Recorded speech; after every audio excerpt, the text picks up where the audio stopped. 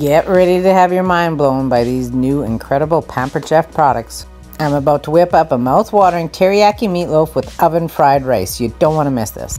I made this all ahead of time so I could spend time with our dinner guests rather than being in the kitchen.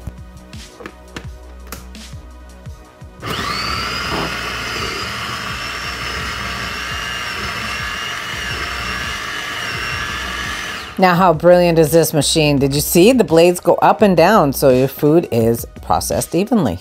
Next up, our new pivoting peeler. This thing is awesome. So you can go either horizontal, which works perfect for uh, rounder things like potatoes and stuff, or you flip it up and go vertical, and that's great for things like the carrots here.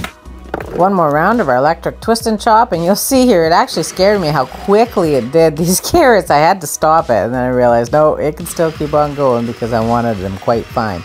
but They also have a pulse I'm going to show here that if you can control then on how much you want to grind up. Our deluxe stand mixer is pre-programmed to do things like ground meats. It only takes two minutes and I don't have to get my hands all sticky. Meatloaf is complete and ready to go. Next up, the oven fried rice. Now I'm telling you, I'll be making this again and again. This is the first time of me using our cup zester, and man, I was blown away. This is perfect for citrus, chocolate, ginger, horseradish, and hard cheeses. So when you're done grating, you turn the base, and then voila, there's actually a little blade in there that scrapes it all off for you. Pampered Chef is always thinking of ways to make your meals easy, fast, and more special. It was so nice to have everything ready to go. All I had to do was put some tinfoil on the rice, make the glaze for the meatloaf, and play with the grandbabies.